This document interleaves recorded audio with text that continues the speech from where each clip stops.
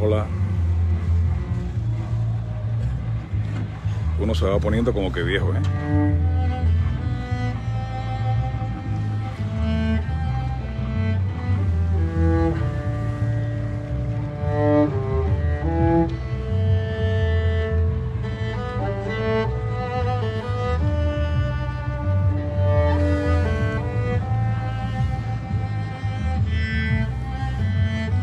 Pero qué bien llegar a los 47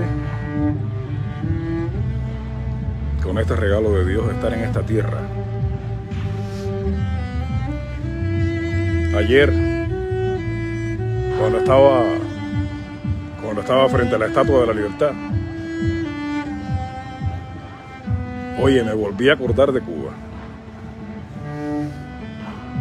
En medio de la diversión, el encanto, el asombro, me volví a acordar de Cuba, de la miseria, las personas viviendo de la migaja, muchas viviendo de la migaja, otras alzando la voz, los inocentes que están presos, las madres llorando,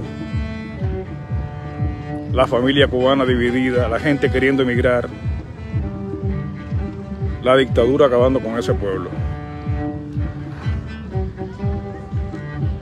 Y me digo ahora, tengo que olvidarme de Cuba. Vivir así en paz, mira, en paz. Este es el monstruo.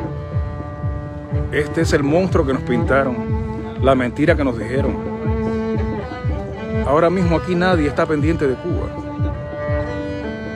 Las personas están caminando, compartiendo con un parque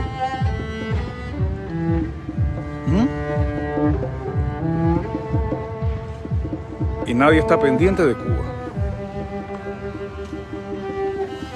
Pudiera olvidarme de Cuba.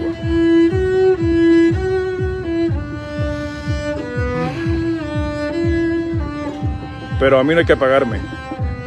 A mí no hay que apagarme por decir todo esto. Y me gustaría mucho que Cuba tuviera esta paz, esta armonía, esta posibilidad de crecer, de salir adelante. Me encantaría. Qué lindo. Pero voy a vivir, claro, voy a vivir, trabajar. Como dice el cubano, salir adelante.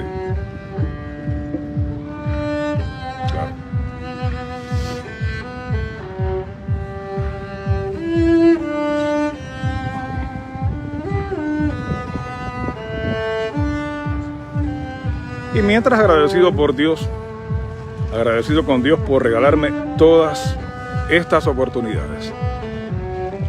Qué bonito.